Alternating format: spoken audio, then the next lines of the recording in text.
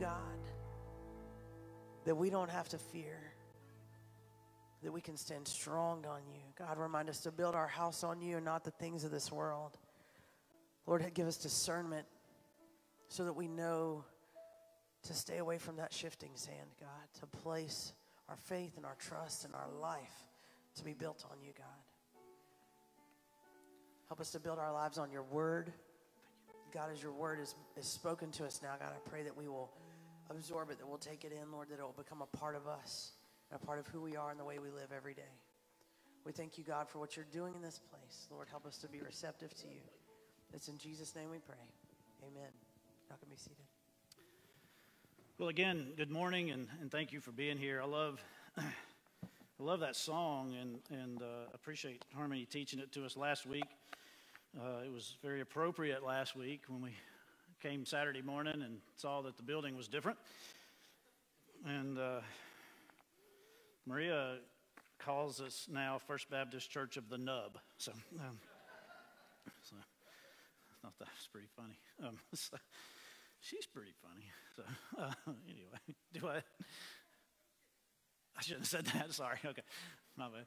Uh, well, that's what she said. So, uh, but I, I, uh, I, I, really do um, appreciate you being here this morning, and and I, and I want to talk just for a few minutes. I, I want to, um, I, I, want to, you know, there's a couple of things I want to say this morning, and um, and one, you know, one of them's kind of not gotten me in trouble, but uh, um, but I believe there's there's truth in it, and uh, I think some of the you know some of it has come true, and so um, the la- the last two years have been hard. Yes, I mean they've they've just been difficult. They've been difficult to be in ministry. It's been I mean it's been difficult to just you know uh, to to do life. I mean it's just it's been hard, and uh, and we've all kind of experienced that, and we've all uh, we've all you know known that. I I'm amazed, uh, quite, quite honestly, uh, I'm amazed at how quickly scenery changes. Does that make sense? When I'm on the track, I'm on the track about every day, uh, and and from where I stand coaching, usually screaming, um, I can look up and, and if we're there at about 5 o'clock, the, the, the, chimes here start going off. And, and, and as I stand there, I can look up and I can see that I, I used to could see the top of the steeple. And it was just an interesting thing, and I, and I didn't realize the, the, I didn't realize the importance of that in, in, in me and, and, and what that meant to me. It was, it was here, and so I was glad some people on uh, one of the goofy Facebook pages uh, we're talking about the chimes and the music up here and, they, and just how much people and people chimed in and started saying how they enjoyed it. And, and, and so now when the music starts i looked up and there you know what i mean? It was just trees. You know what i'm saying? And now I, I realized this morning as i was standing here i realized you know i don't even look up anymore because it's that fast yes it's just that, that fast how scenery can, can, can change and, and we're going to do some stuff to the, to the top of the church. I mean, we're, we're going to do some things there. But, uh, but to me, it was, just, it was just interesting how driving up now, uh, the first couple of days, I was like, ugh. And then now I'm like, there it is. You know what I mean? And it's just that fast. And that's how our life moves. And, and over the past two years, we've had to do things differently. And we've had to uh, we've had to, to, change some things and we've realized some things, I think, that are, that are important, the, the, the things that are important to us. And, and in some instances, we realized you know what, what was important. Some, some instances we realized what wasn't all that important. And, and we could move some of those things you know away from us. And then we gravitated towards the things that, uh, that, that were important. And I, i'm convinced um, i'm going to say this right but I, am convinced, I don't want to say this in a way that I feel like, you know, this, this virus was, was placed on us. You know, I, I, don't, I don't understand all that stuff. But when the virus happened, I'm convinced that the enemy uh, uh of what we believe found some joy. Do you agree with that? See, I, am convinced that he found some joy because since the beginning of time, he's been trying to distance us from God. Yes? We're going to read the verse in a little bit, but you know, in Genesis 3, uh, he, he, he looks at, at, at Eve and he says, Did God really say that? And that's in the beginning, yes? I mean, that's like week four, you know?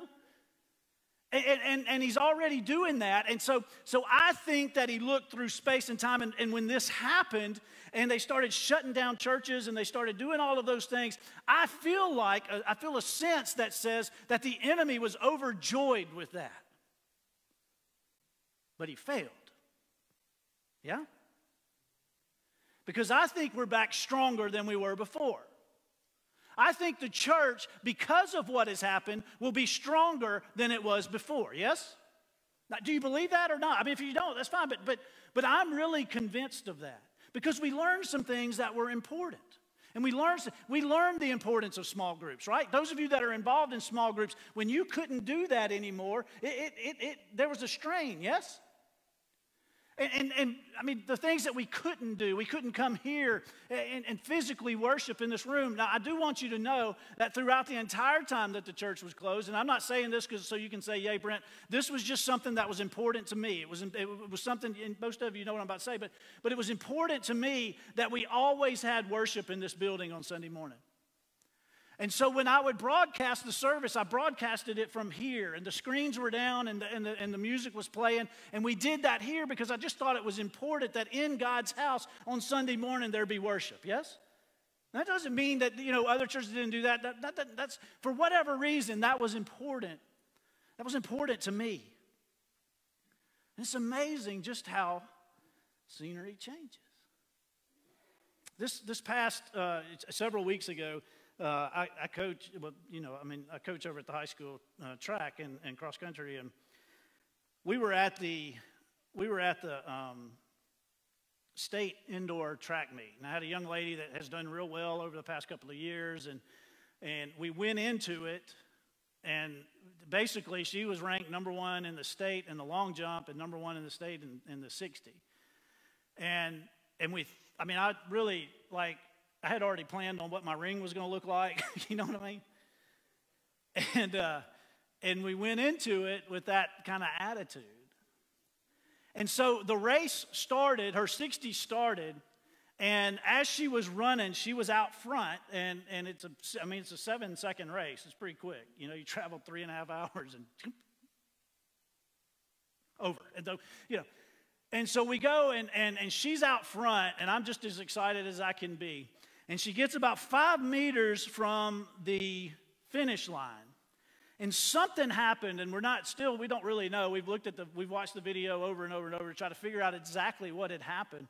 But as she got about five meters from the finish line, her leg wobbled like this. And, and as she was about to finish, her, her leg did like that, and the young lady went right ahead of her, just a tenth of a second. And it was that fast between winning a state championship and getting second place. And it was a blink of an eye. I've watched the tape a hundred times and just try to figure out what, what happened. And we don't really, really know. But it was that fast. Life happens like that, doesn't it? See, some of you have gotten a phone call and, and, and it changed your life, yes? See, it happens that fast. And so this morning, I, I want to just take a, a, a, just a couple of minutes and say a couple of things. And, you know, one of the, one of the fears I have, and, and we've, we've talked about this before, and you've, you've heard me say this, I, I, am, I am very, very concerned uh, about the future church. Now, not just the future of Satsuma, but I'm talking about the future of the American church in general. Um, It's, it's, one of the, it, it's one of the driving uh, forces in my life right now because I really am concerned about what's, what's coming. Now, I, I believe God's bigger than, I, I, believe God can handle things. I, I, absolutely believe that. And, and I have no doubt that that's, uh, that that's the truth. But what I worry about is this idea of consumer Christianity. The, the idea is, and, and we do it in everything because everything that we have, our phone, everything, has these, it, it's all about consumer. And, and there are people that are, are spending lots of time right now doing research on how to get your attention, yes? I've been in ministry since 1989, um, I've gone to the conferences, I've gone to, to the life, I worked for Lifeway.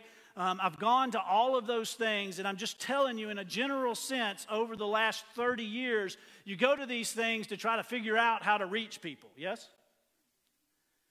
And, and it becomes very consumeristic. And it becomes like we're trying to sell you something. And, and oftentimes, it's very little about a relationship. And, and I want you to know here,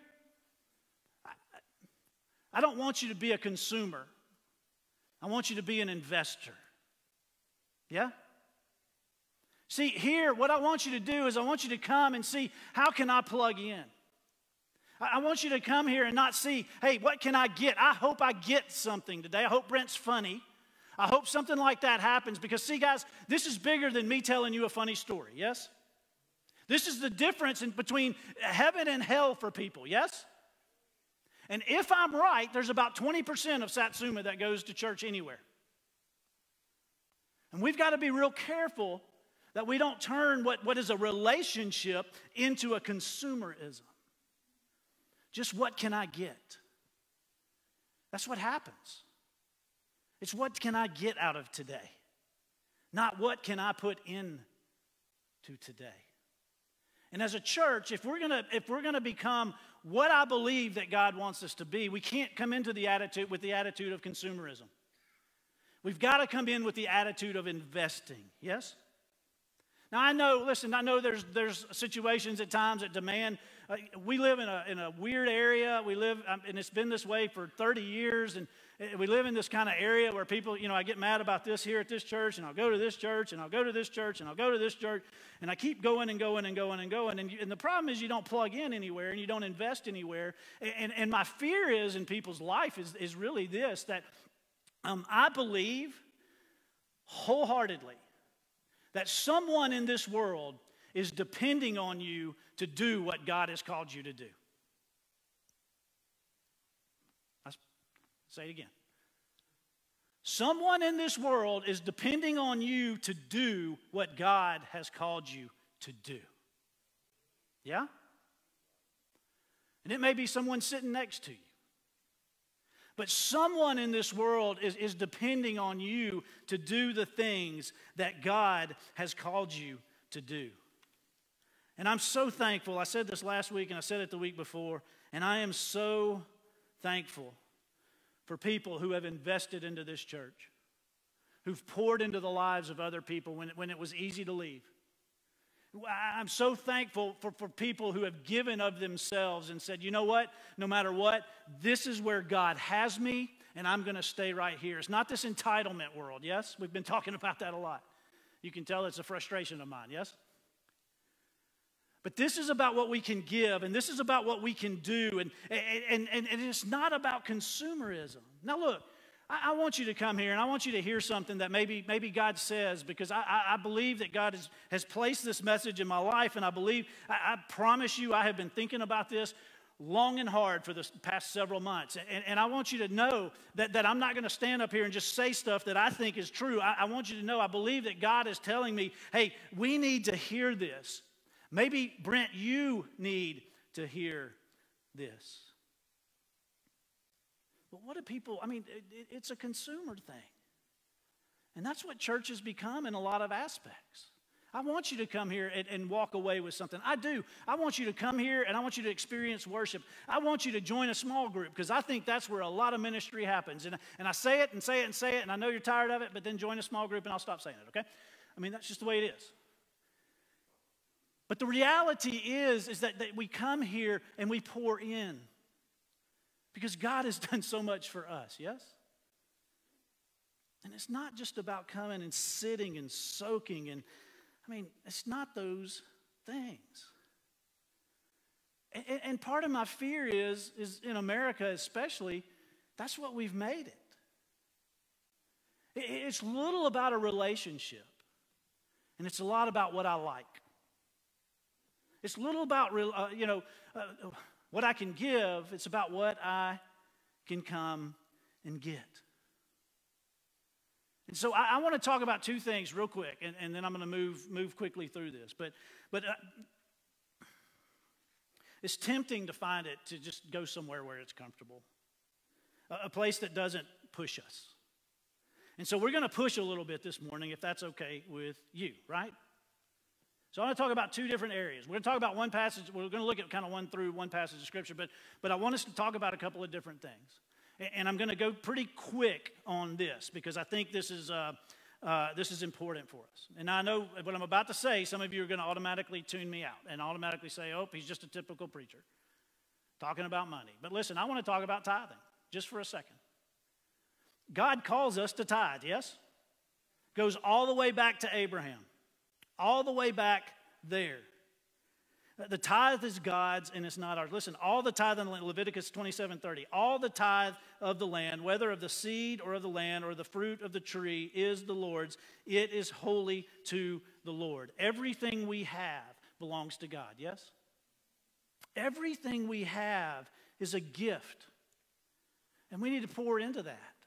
Listen, I, I want you to know uh, when, when the, and I, this is you, this is, this, is, this is us as a church. And I want you to know that when the pandemic happened, I, I was a little anxious because I didn't know what was going to happen. And we didn't know what was going to happen here. And we didn't know what was going to, you know, we were, we were all just kind of nervous, weren't we, Gloria? Yes? We sat in the office many times just going, let's just hide, you know. I wore camo and just stood by the wall, you know. It didn't work. People could still see me. It was crazy. But but but but eh, but here's here's the reality. At our church, tithing went up. And so everything that I was worried about, everything that I was concerned about, God took care of. Yes? Yeah. No, listen. Two years ago, three years ago, Gloria, help me out. Was it three years ago? We had about $300 in the bank probably. Maybe 200. Okay? Listen, now this was Wednesday's number, so I don't know. Today may be different, but Wednesday we had $130,000 in the bank. You could clap. I, that's fine. Yeah, look. Let, let, me, let me just tell you something, though, and, and I want you to hear this because, because I, I believe that we were faithful in that, and I believe that God's going to honor that, yes? And I want to say thank you because I know it was hard, and I know there were times where you might have been like me and said, I don't know that I can give this week, but I, I know that that's what God's calling me to do. Now, I want you to hear this, and I, I want you to just, just, just please understand. We have a couple of things that you can, that you can give to, and, and, and I'm going to tell you these things, and then I'm going to move on because, uh, because I just I believe that we know what God's calling us to do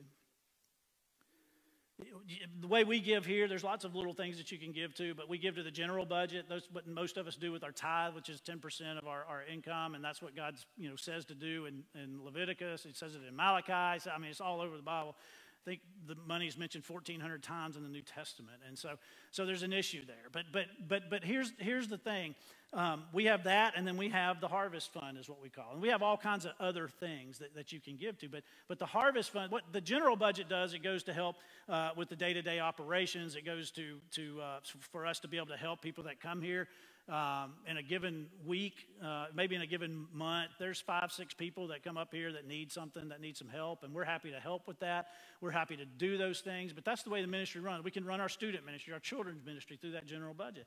And then the Harvest Fund is something different. Now, that was started years ago, and it went to renovate this building, and we ended that a couple of years ago. We paid that off a couple of years ago, but what we've done is encourage people to go ahead and give to it some more because we have a lot of things in this building that need to be fixed, yes? And if you if you're here and you don't believe me, because we I feel like we've done a pretty good job in here. I love our lights. I mean, I just love what we've done in here. And we've done a pretty good job in here, but if you'll just walk into the atrium and look up, I mean, that's true, right?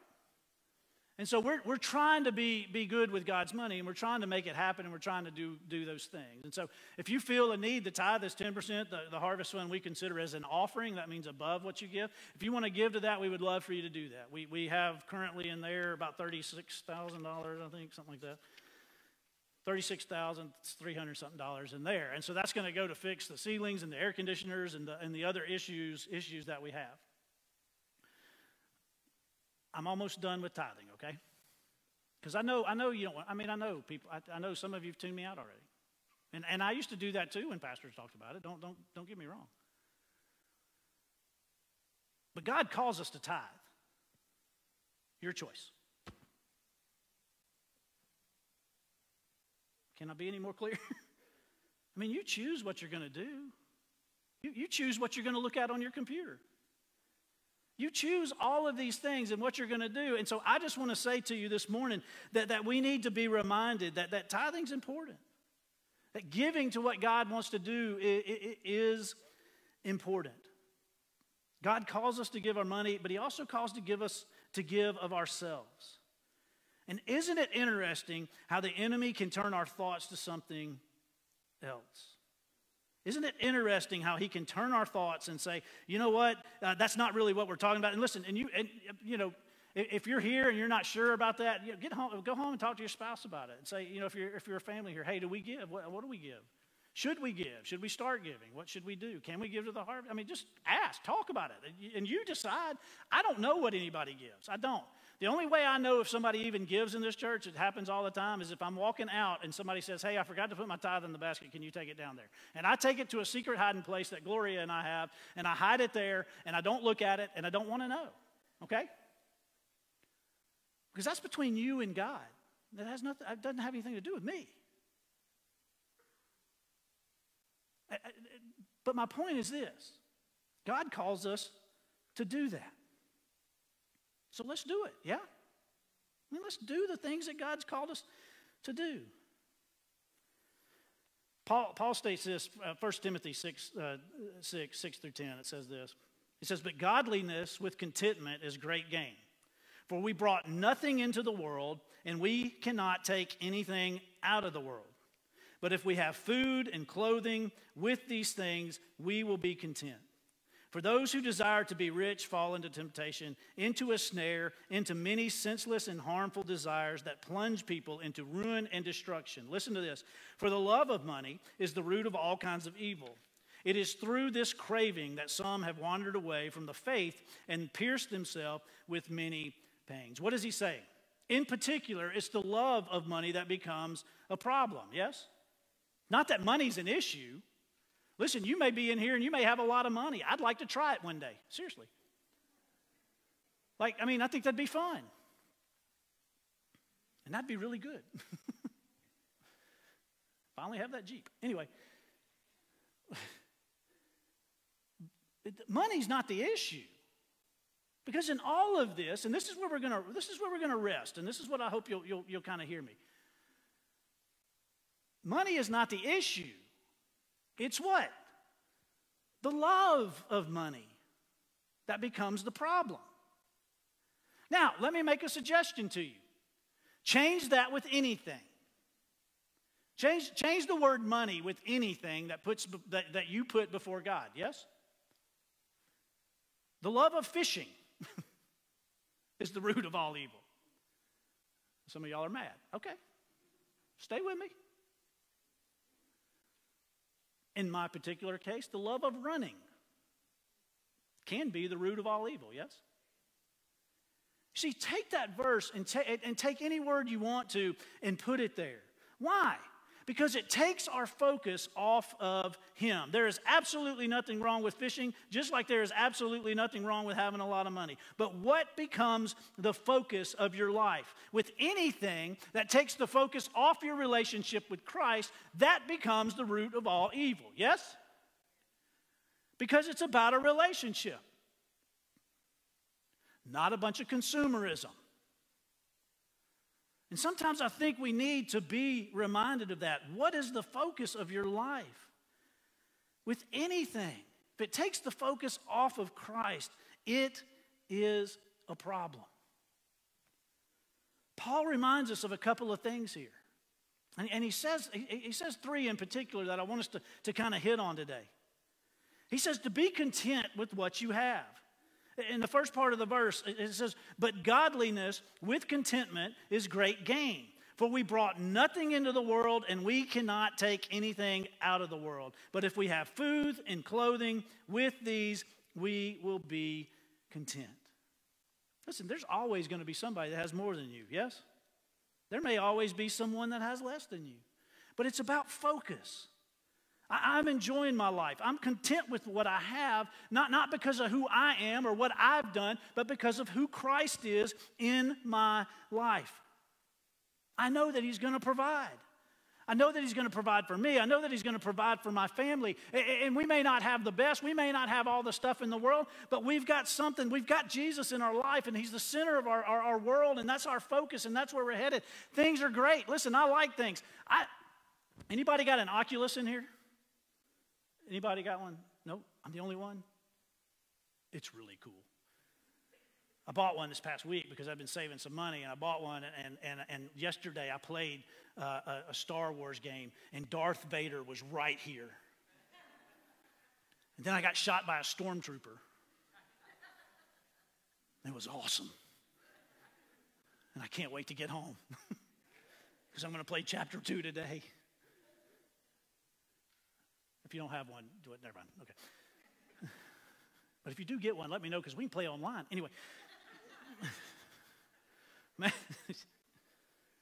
My nerdness knows no boundary. So, Matthew 6, 26 and 27, it says this. It says, Look at the birds of the air. They neither sow nor reap nor gather into barns, and yet your heavenly Father feeds them. And listen to what he says. Are you not of more value than they? Yeah? Hey, listen, I, I know, I know some of us in this room, because I, I understand statistics, not because anything you've told me or anything like that. I understand statistically that there are people in this room that are struggling financially. I get it. I do. Totally understand. I want you to know that God's got you. Yeah? God's got you. Maria and I know what it's like to go to Walmart and swipe a card and pray that it works. We do. I mean, we, we've been there. And I understand that. And I understand that pain. And I understand that frustration. And I understand that anxiety. But I want you to know that, that when you fully trust in Him, when you fully trust in God, you are more important than the birds of the air. And God is not going to let you down. I promise. Now, you got some things you got to do too, yes? You got to work, you got to do things. But God is not going to let you down. And I promise you, in the, in the moments that we, that Maria and I uh, have, have, have been at our end, God's provided. I can't explain it, not even going to try to, but He has. We need to be content with what we have. Second thing is this chasing stuff is going to lead you nowhere.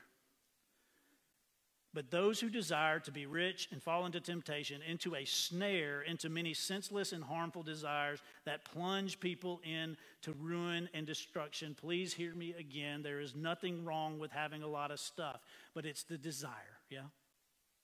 It's what we actually chase. I want this, I want that. But it can be subtle in our life. And it can take our focus off of the things that are really important. And it's kind of like this to me. Have you ever been walking down a hallway and you tripped over your own feet? Have you, have you ever done that? And then you do that silly skip thing to act like you meant to?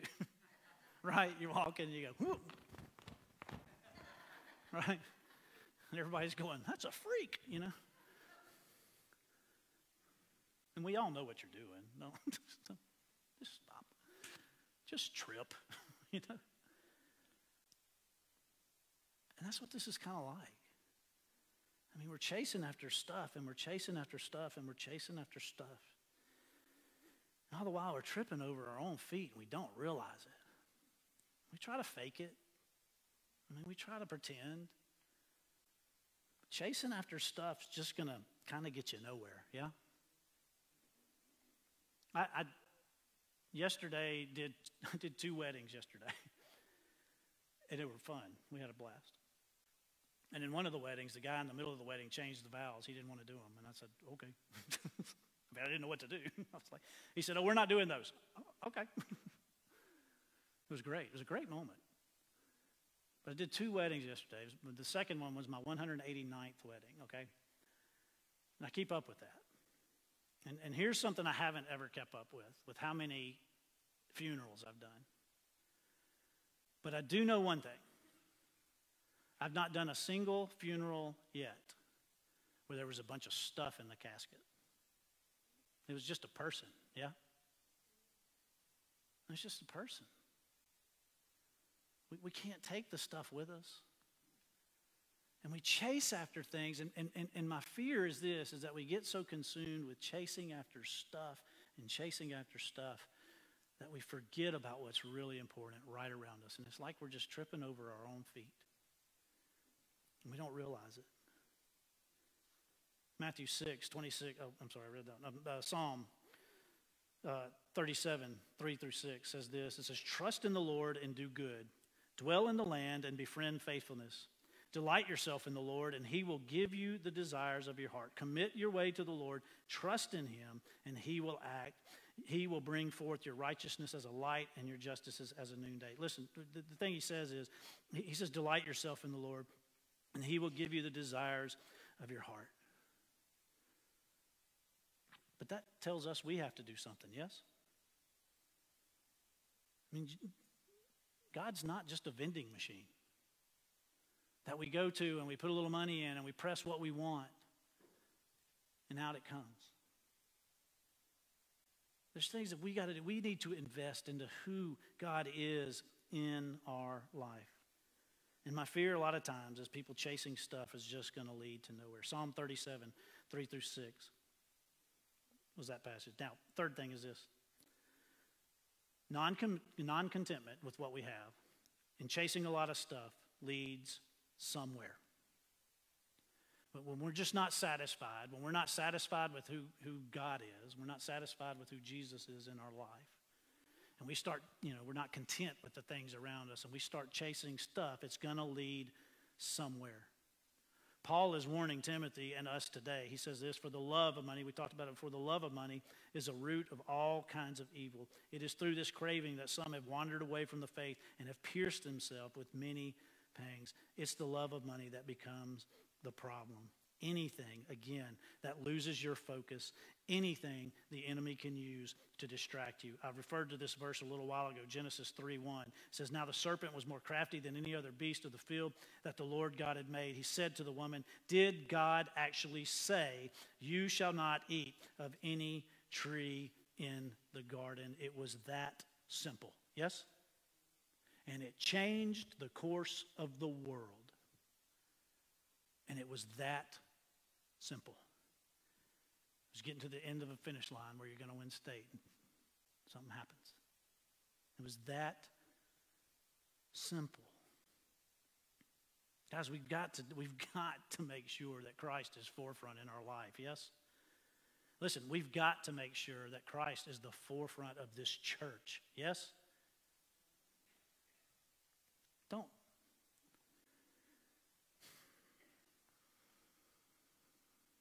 Don't be a consumer. Invest. Give of yourself. What has God called you to do? And do it. Yeah? It's a simple thing with tithing. Just, it, that's what God tells us to do. Do it. It's the things that God calls us to do that, that, that we ignore and we try to figure out and we try to work around and we try to see all of those things. We try to figure it out and all those things. I go to the conferences and they want to tell, I get, listen, I get probably three emails a day from people trying to tell me how to grow a church in a pandemic. Can I tell you this? Nobody knows. Here's what we got to do we got to remain faithful to Jesus, yes? That's what we do. We do the things that God has called us to do. We do those things. And I'll guarantee you, pandemic or not, we will grow, yes? And it's not because of us, but it's because of who He is. What is it that you are pursuing? Remember what is important. 1 Timothy 6, 17 through 19. Because see, he says all of these things. He says the pursuit of money or the, the, the, the, love of money is the root of all evil. And he says all of these things. And, and before he got to this point, he was warning Timothy of some other things that he needed to, he needed to pay attention to uh, in his life. And then he gets here and he says, Look, he, he says all of this stuff. And then he says, You do this, and I promise you it'll be okay. 1 Timothy 6, 17 through 19. As for the rich in this present age, charge them not to be haughty, nor to set their hopes of the uncertainty of riches, but on God.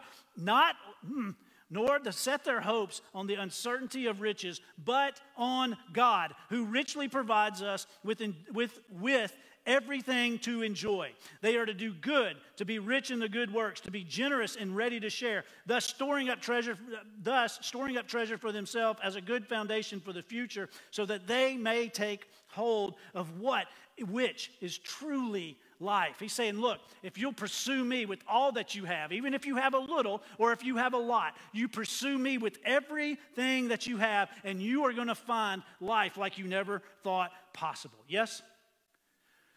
Remember what is important. Remember the things that are important. What is your focus? And, and, and look, if you're going through it, it will pass. I said this a couple of weeks ago, and I want to say it again. Whatever it is you're searching for, I want you to hear me today. God is better.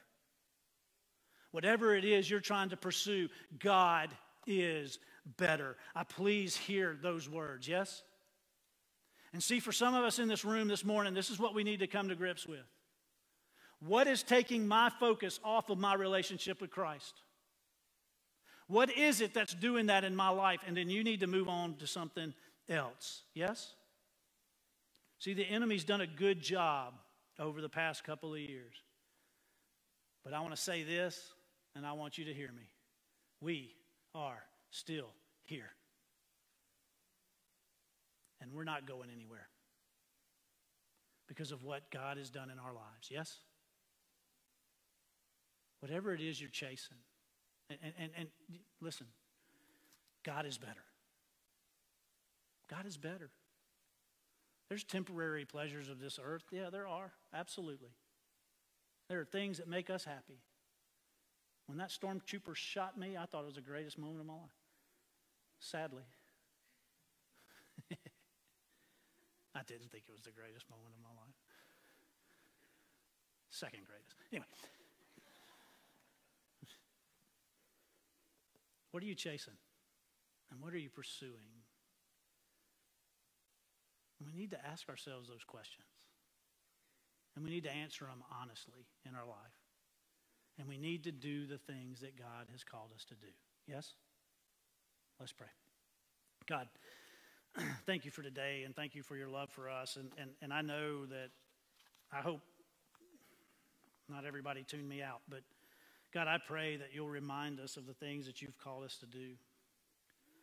And, and I pray that you'll give us the strength and the, and the courage to do the things that God has called us to do, that you have called us to do.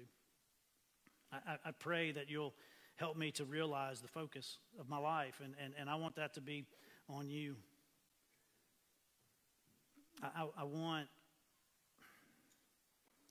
my life to reflect a love for you to those around me. And I, I know I know that there are just moments in my life that I've tried to approach this, uh, this, this job and this calling in a consumer way, in a way that how can we reach? And sometimes I forget about you.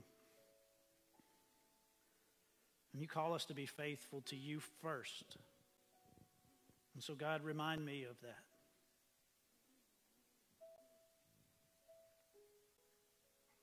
Remind me of the love that you have for, for me.